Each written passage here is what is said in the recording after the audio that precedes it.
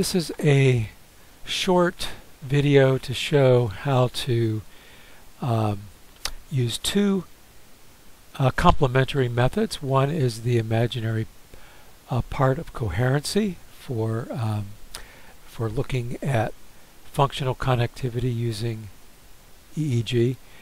And another is an alternative uh, method for time frequency analysis that uses the Hilbert transform especially useful when you when you have a particular frequency band of interest to begin with.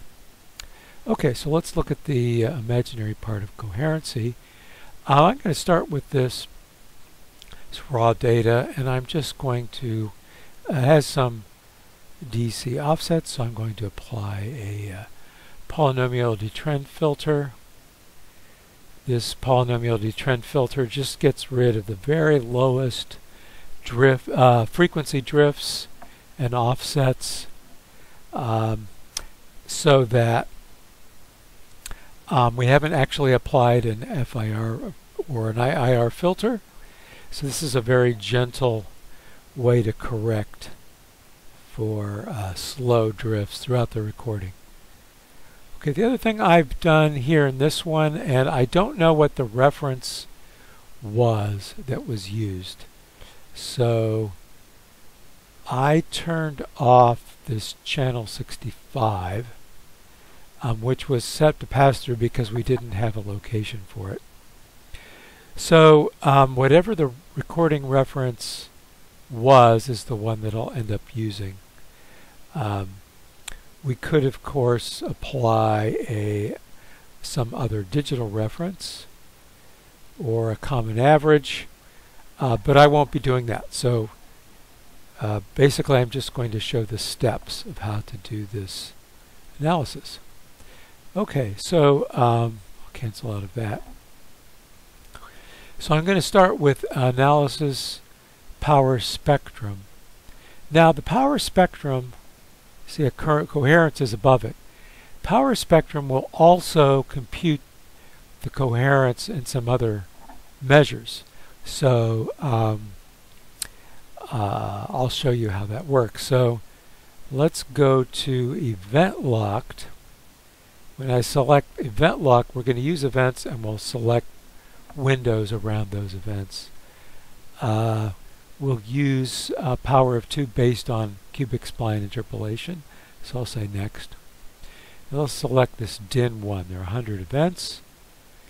And this is what, what I've been using. Um, I will look at the, the references that, that you sent me to see which parameters you actually want to use, but I've been using for uh, test purposes, I've been using minus 0.5 seconds to plus 0.5 seconds with the thought that they're, um, uh, these are finger movements as I understand it and so there will be some pre-motor activity as well as post-motor and, and so that's why I chose this but uh, this is just for illustration purposes. Since I don't have an IIR filter in the pipeline I don't need to correct for any uh, warm-up artifacts. We've just put a polynomial detrend in there. So I'll just say interval of interest here. I'll say next. Uh, for this purpose, I won't reject anything. I'll just go here to the last page. Since this is not a, the events aren't stimuli, I'm not going to detrend. I'm not going to make a baseline. Um, use your own judgment. I'll also look at the papers you want to replicate and I'll say finish. Okay, so what's going on here? It's accumulating the cross-spectral densities, which includes the auto spectral densities, which are essentially the power spectrum. So this is really calculating everything you need for power spectrum and coherence, and as it turns out, also the imaginary part of coherency. Um, so We'll let this finish. Um, I will say OK. And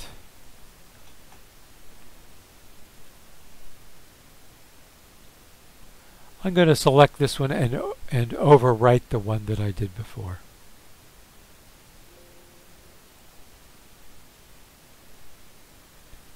Okay, so so here it is, and we see our frequencies are going all uh, out probably farther than we want, so I'm going to uh, stretch out the time scale, let's say to about here, so I'm seeing up to about 30 hertz uh, superimpose. So this is the power spectrum. Um, and if, say, I want, so this looks like a, uh, that's 8 hertz, so this is kind of a low alpha. Uh, but let's, let's look at it. Let me load a scalp. And let's just look at that. Okay, so um, so that's what we're seeing, uh, some, some prefrontal alpha, probably due to uh, this relationship with them. This is event related, right? It's not, it's not um, a resting state. So that's potentially interesting in its own right. There looks like there's another um, small peak out here. Don't know what that is. It's more widespread uh, looking at the contour over the map sometimes is more informative to see the patterns. Okay, so we've got frontal, prefrontal going on uh, related to this task. All right, but let's see what else we've got. Um, we also calculated, let's, let me go to the uh, chart recorder mode and I will uh, let's oh, I'll if I right click here I can change the cross spectral type. So it's defaulted to power spectral density. There's cross spectral density which is like coherence but it's not normalized. Coherence is normalized like a like a um, correlation, except it's like a complex correlation. The imaginary part looks at that complex part, and, and let's look at that. But uh, also note that there's uh, the imaginary part is normalized uh, of coherency. The imaginary part of cross-spectral density is not normalized. Well, let's select imaginary part of coherency. And now, since now, now this is pairwise, so now we'll want to select a coherence or a cross-spectral reference channel. Let me right-click there on 20 and set channel 20 to be the cross-spectral reference. So that works for all of the types coherence, cross-spectrum, imaginary part of coherency, and uh, um, uh, and the imaginary part of cross spectral. So um, notice our channel 20 went flat in this case. Um, let me go to superimposed mode.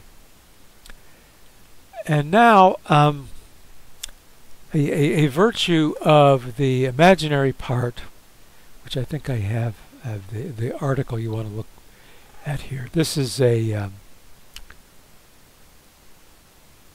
this is the first paper that I'm aware of from 2004 to describe this measure by Guido Nolte et al. Uh, and Mark Hallett's group, the NIH. Um, this paper describes the the benefits of this. Basically, it's unlike coherence itself, um, where the maximum coherence is always going to be at the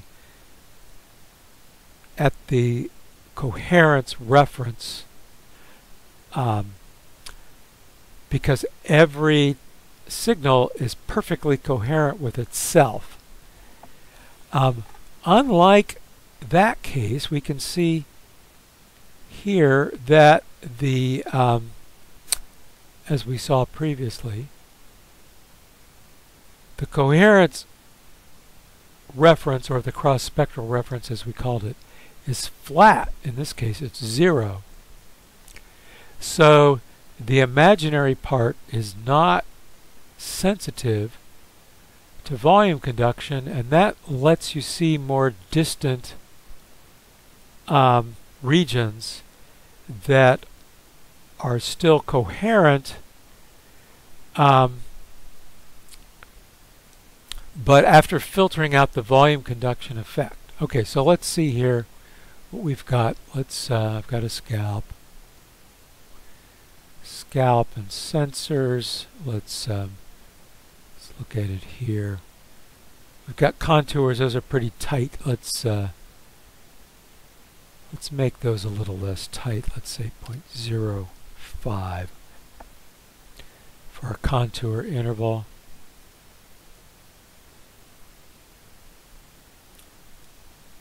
Well, this is kind of interesting. So the um, here we're looking at this turns out to be 5.99. So that's 6 hertz. We're looking at 6 hertz. Um, and at 6 hertz, whatever the functional interpretation is, this certainly looks like cerebellum, imaginary part of coherency. With respect to the on the left side with respect to on the left side um, uh, motor, at least if that's this is channel 20. Okay, but that's that's a relatively low frequency. Let's see what we've got. If we look at, for example, here, uh, this is 10 hertz. So let's see what's going on at 10 hertz. Okay, at 10 hertz, we're not seeing too much going on cerebellum. It looks like something more parietal. But let's look at let's look at some other frequencies. There we have um, 11 hertz, 10.98, 11 hertz. Now we're beginning to see something here, 11 hertz, something maybe a little more interest here more on the cerebellum on the right side, still now uh, with with respect to the the left motor cortex, we can tighten that up a little bit. The contour lines, let's say 0.25, 0.25.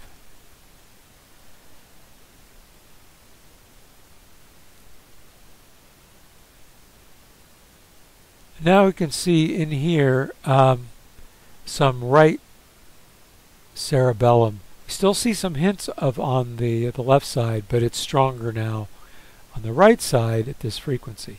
So um, the you can play with this. Uh, there's another one. If we look at uh, 12 hertz,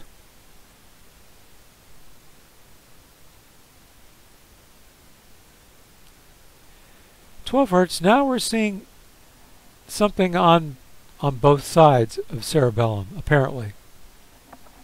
So, um, just want to show you that as a possible method that you can experiment with. Okay, the other method I wanted to show you is another, so th this is power spectrum. It's not um, uh, it doesn't take time into account. It's a frequency domain method.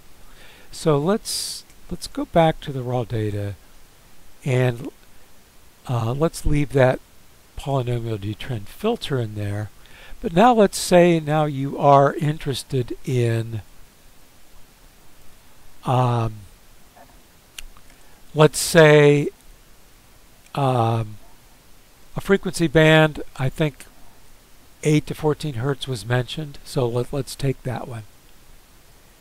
Let's now add a digital IIR filter and let's I'll notate uh, here 8 to 14 hertz and I'll make it a band pass 14, 8, 8 to 14 hertz. Start with this. Okay, this is the first step, so it'll be multiple steps. But now you can see um, you can see oscillations here in that frequency range of interest. Okay, so now what we can do to get a time frequency analysis using the Hilbert transform method. Alright, so the next thing I will do is I'll add another filter which is the um, it's it's under rectifier but under here um, I'm going to select all channels. I'll use the Hilbert envelope. Okay, what, what's the Hilbert envelope? It's basically going to, um, what we have an oscillation like this, it's going to make the, the envelope around the oscillation. So it's going to have a lower lower frequency, but it's basically going to get the amplitude of the oscillations itself. And I'm going to select log 10 output. So we're going to take the Hilbert envelope. This will end up being a non-negative um, result. And then we're going to take the log of that. And then as you'll see, this will put things out of range, but then we'll, we'll, we'll bring them back in range in a second here. So let's say, okay, rectifier, Okay, this looks kind of strange. Um, but let's let's do another polynomial detrend filter here. So um,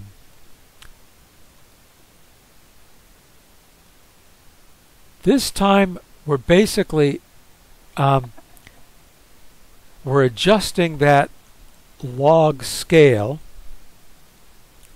so that um, keeping in mind that log of 1 is 0 and 1 is the point is is the balance point between um, increase or decrease. So now now having removed uh, the the trend throughout the recording we can essentially say that something so log of 1 is 0 um, so anything less than 1 will, after taking the log transform, will be a negative number. Anything greater than 1 will be a positive number, which means we can interpret these as relative increases or decreases in this band of interest. So let's see what happens. Now in other words, at this point, I'm just going to treat it like we have an event-related potential. So let's um, let's now at this point I'm going to do just ordinary averaging. But at this point, I now do have a an IIR filter in the pipeline which can create edge effects. So I'm going to do this interval of interest plus 20% padding. Do next, next, next, uh, once again, I'm not going to do any further detrending here. I don't know what you want to do, but it's uh, potentially problematic to say what a baseline is because before the movement there's actually brain activity. So I won't I won't uh, do baseline correction here. But now at this point I'm averaging just like it's time domain activity. Uh, let's see here. Uh, here's one that I did before. I'm going to overwrite it. This is I filtered at 8 14 hertz with the Hilbert transform. And let's overwrite it. Now there it is. So um, let's take a look at it and see what it looks like. Okay, so this is, um, now keep in mind that this is, time zero is the time when the, uh, the movement took place. So now we have time information again. So this is a kind of time frequency approach. But everything we're looking at is confined to the frequency range of from 8 to 14 hertz. So at and so we can map this. And we can also interpret this as something uh, greater than zero means that those oscillations, the, the oscillations in the 8 to 14 hertz range, the, the envelope, the Hilbert envelope was larger, whereas um, afterwards, so we could call that a synchronization. Whereas afterwards, we could look at the, if it's smaller than zero, we could think of that as a desynchronization. Okay, but let's just look at time zero and see what that is. Uh, oh, well that's interesting. Um, potentially of interest. Oh, that's on the sensor. Let's just, let's do the contour.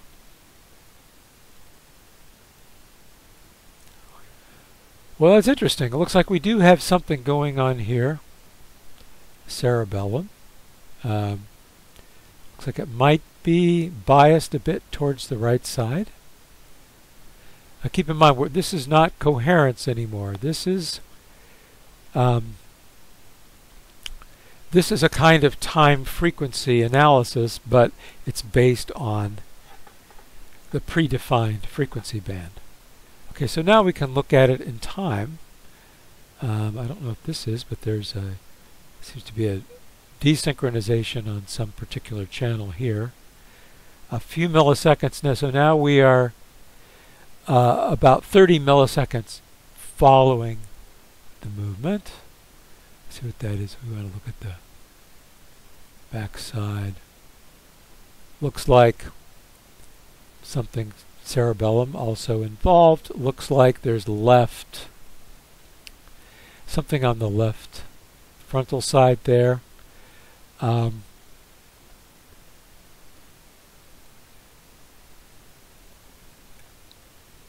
I can't really say whether this would be ocular. This is, appears to be in the eyes, but it's obviously interpolated from some channels. So we, we'd better get straight on what these other channels are.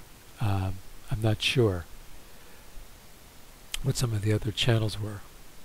Um, let's let's look again. So here's uh, seems to be preceding the movement at about 160 milliseconds before the movement. Let's see what that looks like.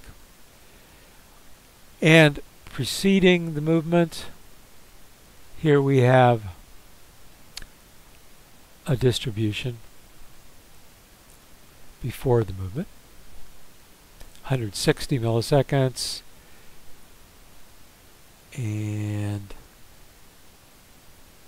it's interesting, we're seeing something more on the right side. This, of course, could, as a synchronization, sometimes is interpreted as a kind of um, suppression.